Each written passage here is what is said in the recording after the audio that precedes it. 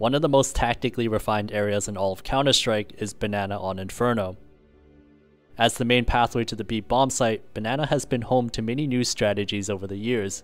And if you look online, there's no shortage of content on what the best tactics are to fight for banana control. But how exactly did these tactics come about? What was the original thought process to create them? So in this video, we'll go through the history of Inferno Banana Control and go step by step through its biggest tactical breakthroughs from the past decade. I hope you enjoy. Let's first start with why having banana control is so important in the first place. By capturing banana, you get a certain advantage depending on which side you're on. As a CT, controlling banana denies the T's from hitting the B site, allowing for a stronger defense to be made at A. But as a T, controlling banana creates a direct threat to the B site. This forces the CTs to spread their defense between the two bomb sites, making it easier for Ts to attack either one. As Inferno has been played for over two decades across four major versions of Counter-Strike, we'll be focusing specifically on CSGO for this video, which dates back to 2012. There were two distinct versions of Inferno played in CSGO's lifetime, most players will be familiar with the most recent version that released in 2017, but there was also a prior version that came with the game's release in 2012. Although there are notable differences in the geometry and the visuals between these two versions, Banana in particular has maintained the same general layout. When we look on HLTV, the very first set of demos played on Inferno came from ESWC 2012, CSGO's first big international event. Back then, it was common to see CTs leave Banana entirely to the Ts and simply defend from the bomb site. This was because CTs spawned further away from Banana than the Ts did, which meant the Ts gained more control first. This fundamental idea gave rise to one of the earliest tactics for the CTs, and that was to throw two high explosive grenades down Banana at the start of the round. These HE grenades would damage Ts as they entered Banana, making them softer targets. This damage made it easier for CTs to hold if Ts continued to progress. But ESWC 2012 was special, that's because it was the first big LAN event where Molotovs were allowed. This did not sit well with players and teams because they thought Molotovs were too overpowered. As other competitions actually banned their usage, they wanted ESWC to do the same. Older versions of Counter-Strike only contained HEs, flashes, and smokes, so Molotovs brought a completely different dynamic to the game.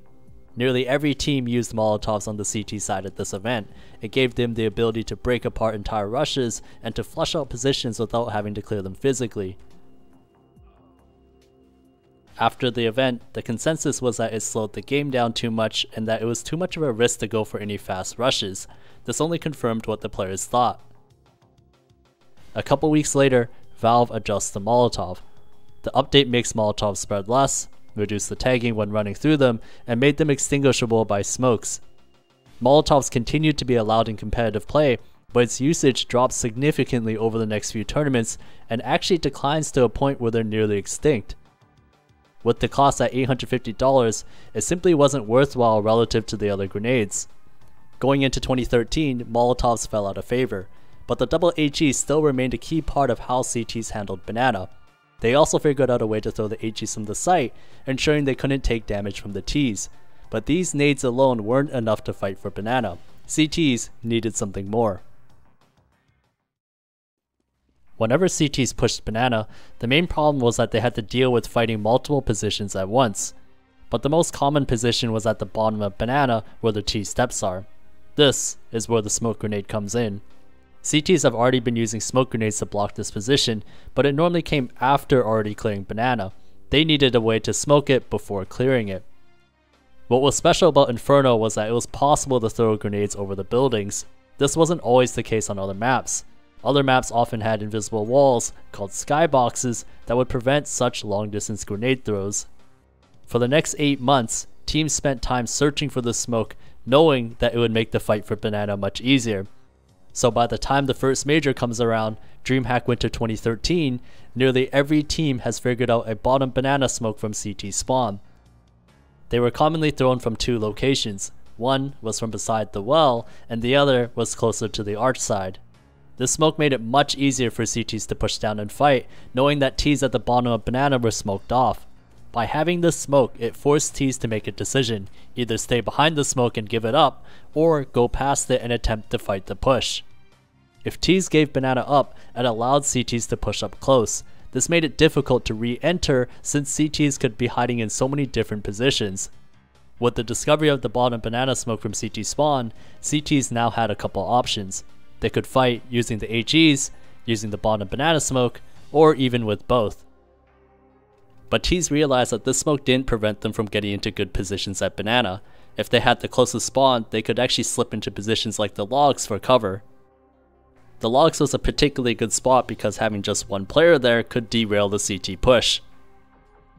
To deal with this, CTs brought something back from the dead, Molotovs.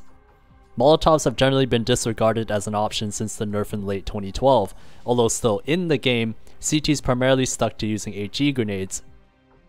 An update back in August 2013 reduced the prices of fire grenades, allowing some teams to explore its usage. Complexity was one of the first teams to really try incorporating Molotovs into their play. At the first major, they were the only team on the CT side that actually used more Molotovs than HE grenades at Banana. As time went on, more and more teams gave it a try. CT side Molotov usage at Banana steadily increased from event to event, but it wasn't until ESL 1 Cologne 2014 where we really saw the effect that Molotovs had.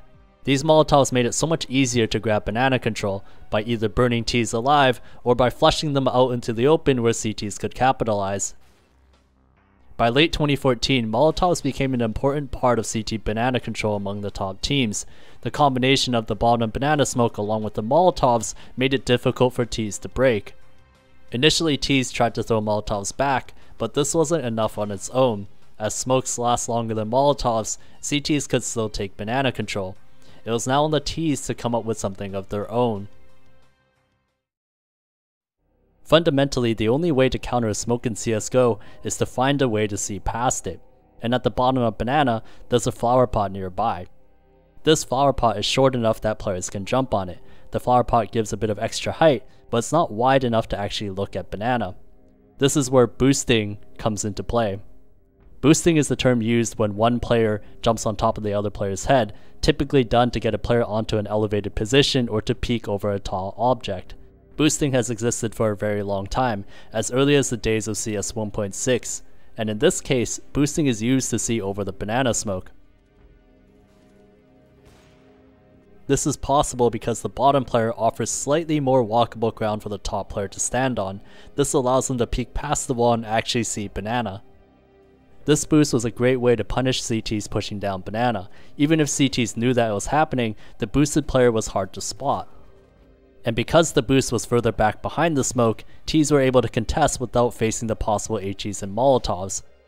The first time this boost was seen was in April 2014, during the SLTV Star Series 9.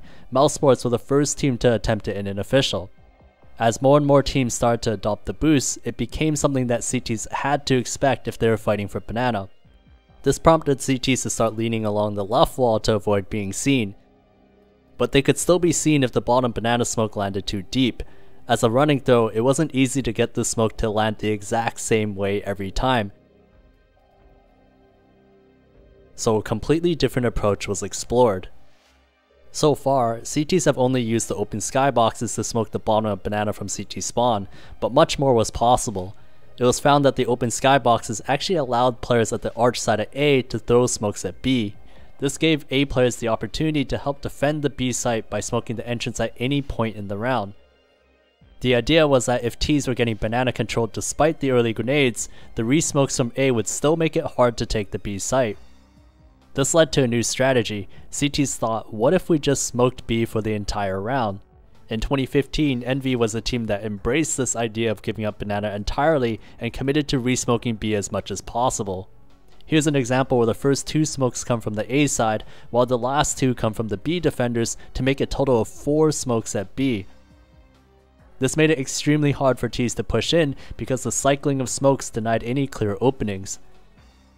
In theory, it was a great strategy, but it was much harder to put in practice as A players often needed the smokes to defend against certain situations on their side of the map, so teams simply settled on using the smoke whenever it was convenient.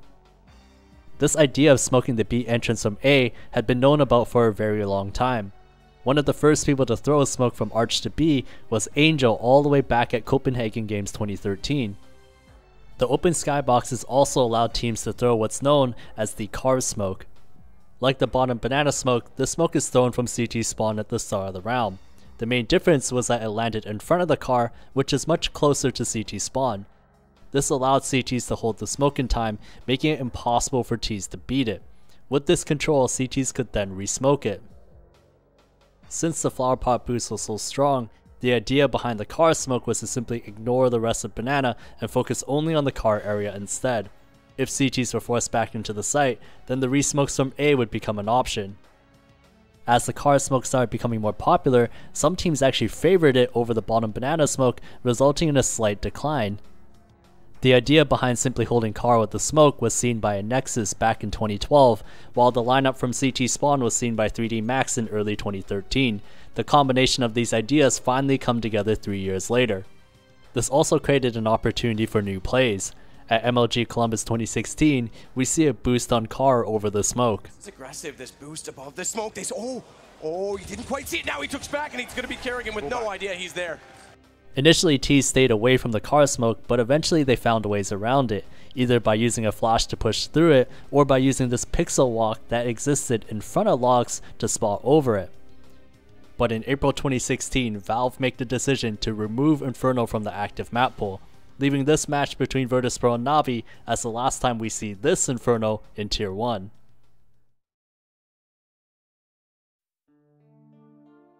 A year later, Valve unveiled a new version of Inferno and it returns into the active map pool, completely fresh with a number of changes. The most impactful one is that the skybox has been adjusted, no longer allowing CTs to smoke B site from other areas of the map. Common smokes like the bottom banana smoke and the car smoke are no longer possible from CT spawn, and this also includes the smokes from the arch side. DreamHack Las Vegas 2017 starts as the first Tier 1 tournament on the new version of Inferno, Although the bottom banana smoke couldn't be thrown from spawn anymore, the shortened wall near car made it easier to simply throw it from the entrance. CTs that threw a bottom banana smoke along with the molotovs would get banana with ease. That's because what wasn't mentioned in the notes was that the flower pot at the bottom of banana was removed. Ts no longer had a way to counter the bottom banana smoke. CTs also brought back the car smoke from the previous version. Although it couldn't be thrown from CT spawn anymore, it was still possible from just outside B. This smoke denied any possible rushes, but it also gave them the flexibility to take Banana after it faded. If they elect to use it, the spray downs and the aggression that That's so continues cool. to put onto them, it does it again. It's a Molotov that burns them alive, the stacked Molotovs. The shortened wall mentioned earlier, known as the half wall, also made it possible to find kills by boosting. But the half wall actually created an opportunity to use one of the most common positional tactics, jump spotting. Jump spotting is the act of jumping to spot enemies. Rather than peeking in and out of cover, jumping is much safer because the player reveals much less of themselves. Since jumping causes you to be inaccurate while shooting, jump spotting is strictly done to gain information on what the enemy team might be doing. As this mechanic was present on other maps, for example Beyond Mirage, teams used it right away. But there was one team in particular that knew how to maximize the jump spot. At the PGL Krakow Major in 2017, Big was seen jump spotting at Banana. Like most other teams, this wasn't uncommon. The difference was that Big found a way to do it without being seen. If we look at both perspectives, the CT can clearly see the T, while the T cannot see the CT. To pull it off, they actually used an existing mechanic called the silent jump. The silent jump was a way to jump without being heard. It involved crouching before jumping and then letting go of crouch while in the air. Big discovered that silent jumping created a mismatch in what the player would see relative to their player model. It turned out that the point of view was actually significantly higher than what their player model would suggest. This allowed them to spot enemies without being seen, giving them advantages in both fights and rotations. This sparked huge controversy as there was debate on whether this exploit should be allowed teams gathered to talk about the best way forward. Admins made the official decision to allow it, but teams made gentlemen's agreements not to use it. After the major, what's known as the Big Jump bug was patched, no longer allowing players to use the exploit. Despite this, CT still had a variety of approaches to fight Banana, while the Ts, with only the T car Molotov, continued to struggle. In the second half of 2017, this is when it all changed. Ts are finally able to find the necessary tools. They first tackled the situation when CTs had already taken banana control. Usually once CTs take banana, they leave a player at the car to hold B alone. As this player was often jump spawning or AWPing, Ts needed a safe way to force them off the position. That's where flashbangs come into play. This flash, known today as the window flash, goes over the building and blinds any CTs in the upper portion of Banana. Initially, the flash was used as a way to regain Banana control once CTs took it. But over time, T started using it at the starter rounds as a way to prevent CTs from peeking down Banana. This created an avenue for Ts to move up Banana more safely. The earliest versions of the window flash were thrown in early 2017 by Gambit and Virtus Pro. As you might notice, the lineup was actually quite different. It was only as teams started implementing jump throws that the actual window lineup was created. The next issue that Ts dealt with was that CTs liked using the car smoke to block them from pushing up. The T's answer was to simply wait for the smokes to fade. In 2016, the round time was actually increased by 10 seconds for the purpose of making smoke grenades less effective. This made waiting a viable strategy. In addition, if CTs actively held the car smoke, Ts had what's known as the half-wall flash at their disposal. This flash is thrown from the bottom of a Banana and pops just over the half-wall. It's designed to blind CTs positioned at the entrance and the sandbags, as the window flash doesn't go far enough to reach them. Although a variation of this flash was used in the old Inferno, the new Inferno made it better. Ts could now stand much closer to the choke point, while in the past they were further away. The half-wall flash was sometimes combined with the Molotov, making it difficult for CTs to hold. Although the very first half-wall flash was originally thrown by Astralis, North was actually the first team to use the flash more regularly before it started spreading to other teams. Both the window flash and the half-wall flash found their place in the meta. The window flash was useful for taking banana at the start as well as retaking it, while the half-wall flash created a way to pass through the car smoke, causing CTs to actually reevaluate its usage. Since the flower pot boost no longer existed, holding only the top of car was no longer necessary. But CTs needed more ways of fighting for banana. Although the method of using two Molotovs with the bottom banana smoke was successful, the issue was that Molotovs were expensive, with Molotovs at $600, it wasn't always possible to buy them in situations when money was tight. So CTs came up with something new. It was actually back in May 2017 during the EPL Season 5 finals where we saw what's widely known as the Fallen Flash for the first time. This flash is thrown from the CT spawn entrance of B and pops just over the roof. It blinds Ts who are running up Banana, making it a great way for CTs to fight without needing Molotovs. The Fallen Flash was simple, cheap, and effective. By the end of 2017, teams caught on right away. And now, the fight for banana control was starting to get interesting.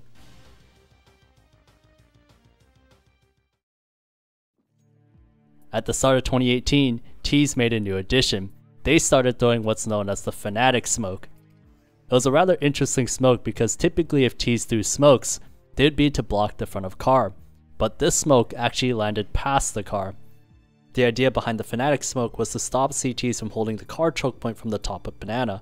The most common positions were the sandbags in the corner, so the Fnatic smoke landed past the car to block these positions while still leaving room for Ts to push in. This allowed Ts to grab car control essentially uncontested. As the name suggests, Fnatic were the first ones to use this smoke in late 2017. A few months later, teams like Virtus Pro quickly added it to their playbook. As a result, the Fnatic smoke rose to popularity. It was an easy way to force CTs back into the site if they are playing Banana passively. However, despite everything the Ts have created so far, they still haven't come up with an answer to the CT Molotovs. For the last 5 years, ever since CT started using Molotovs, Ts often took one of two choices.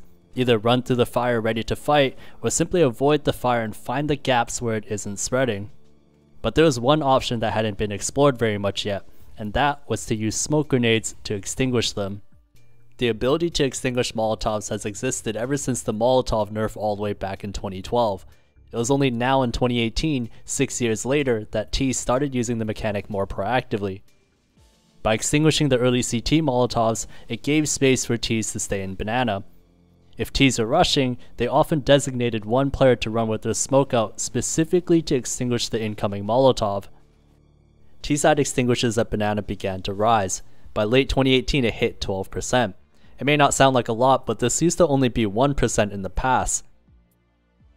Using raw numbers in the second half of 2014, there was only one Molotov extinguished out of about 1,300, while in the first half of 2018, there were 233 Molotovs extinguished out of almost 2,500.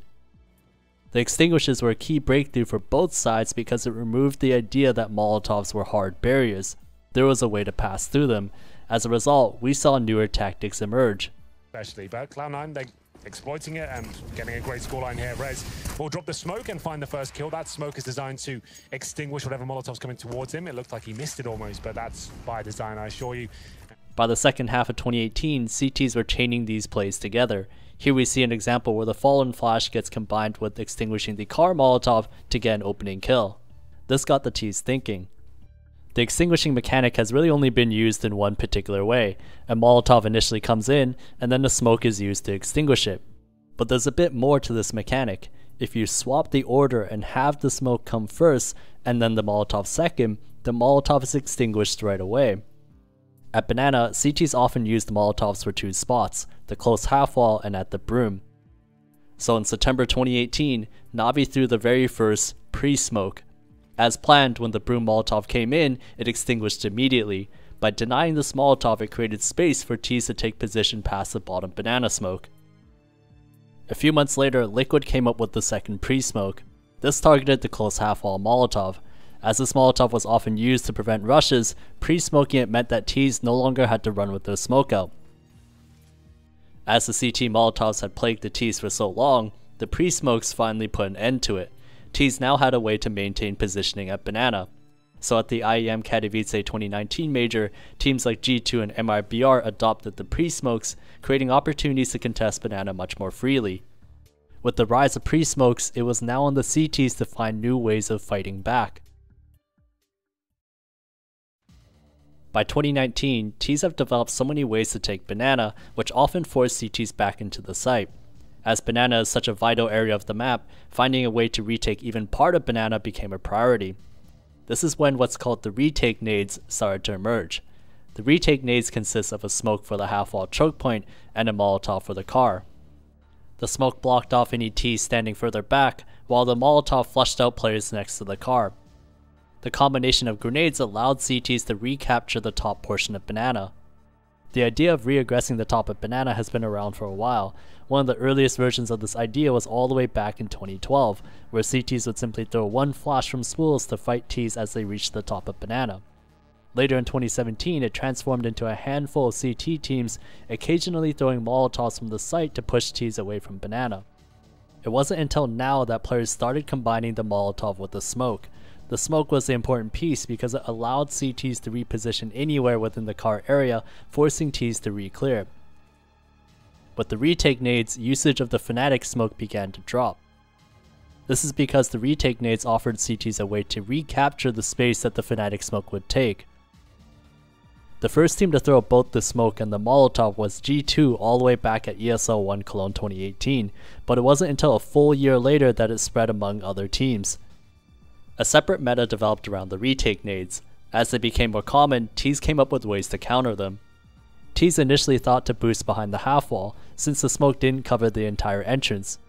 When CTs recognized that this was becoming a common counter, they began throwing HEs behind the half wall to prevent the boost. The Ts adjusted. Rather than boost directly behind the half wall, they decided to use the logs further back instead. All this did was move the target, CTs then figured out a way to HE stack the boost on logs. It became a guessing game of which counters each team would use. Along with the retake nades, CTs also found a new way to fight. Typically when CTs peek down banana, they extinguish the T car Molotov by either throwing the smoke off the corner or by simply aiming at the fire directly. CTs figured out a better way to do this. What's known as the Furia smoke was brought to light at the top level. The Furia smoke is thrown from the B side of CT spawn and lands just next to the car. The smoke does two things. It extinguishes the typical car Molotov and it leaves a gap on the side for CTs to peek banana. But not only that, the gap was actually a one-way, as the player next to the smoke could see the player at the bottom of banana much more easily than the other way around. The smoke was extremely powerful, just the presence of the smoke alone made Ts cautious of somebody peeking. Although Furia made this smoke popular, they weren't the first team to use it. In March 2019, it was actually Complexity that used it at ECS Season 7 about 6 days before Furia did. With the newly found Furia smoke, CT's now created an avenue to directly punish T's using the pre-smokes. By late 2020, it reached nearly full adoption among the top teams, and the Furia smoke continued to dominate well into 2021. With the ability to go behind or in front of the smoke, CTs were constantly catching T's off guard. So in early 2022, T's made an adjustment. T's began smoking the car choke point more frequently to deny these pushes. Having this smoke, even if it wasn't perfect, closed off the gap in the Furia smoke to ensure that CTs couldn't peek down. As throwing the smoke freehand from the bottom of Banana wasn't always reliable, set lineups became more popular.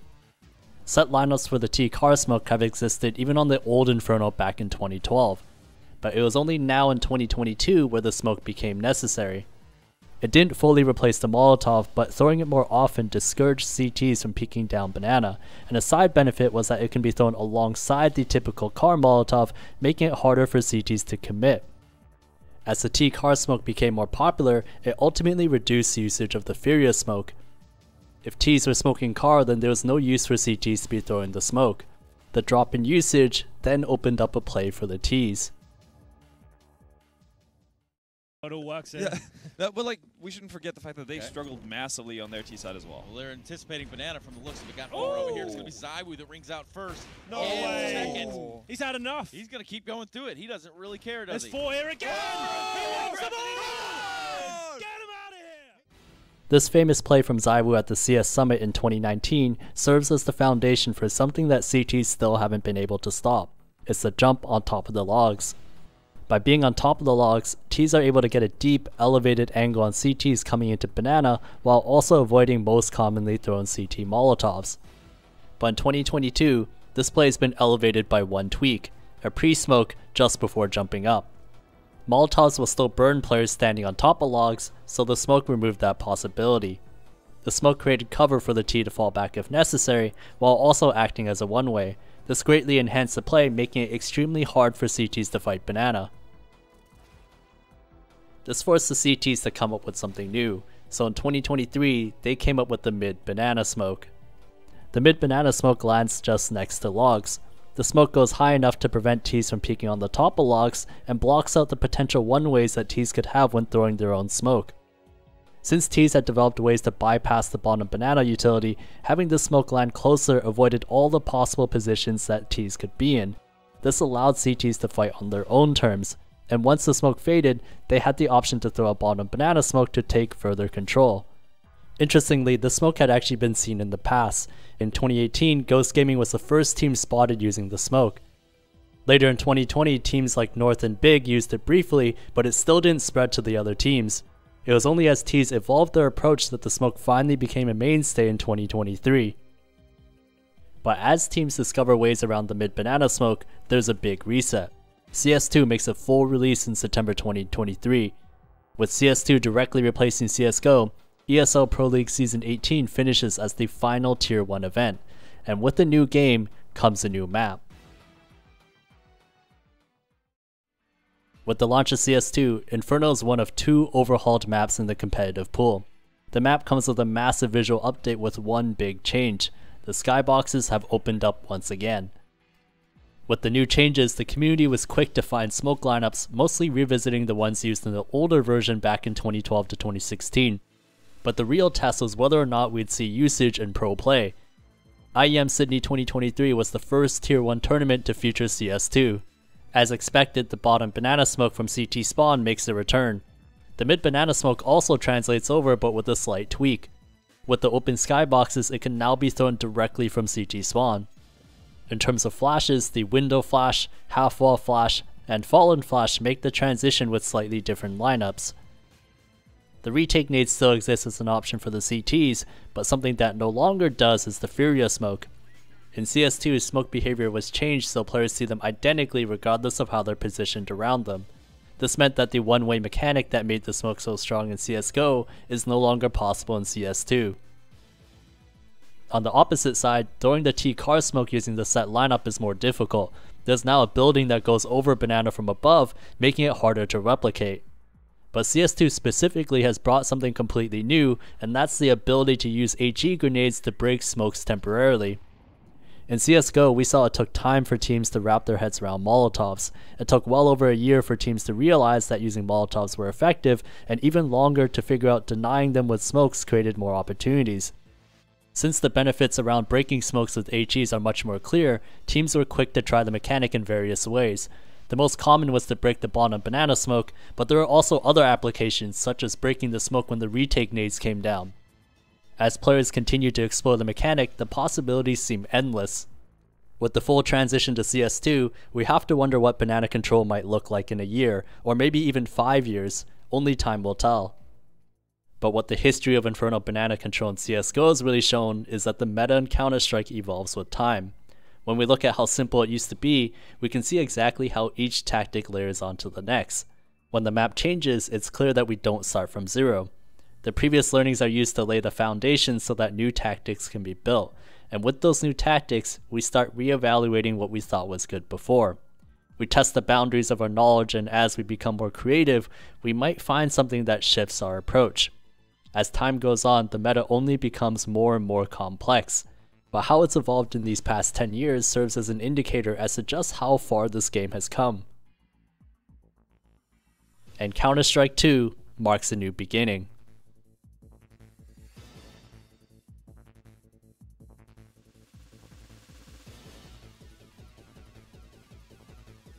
Thank you guys so much for watching. I'll see you guys next time.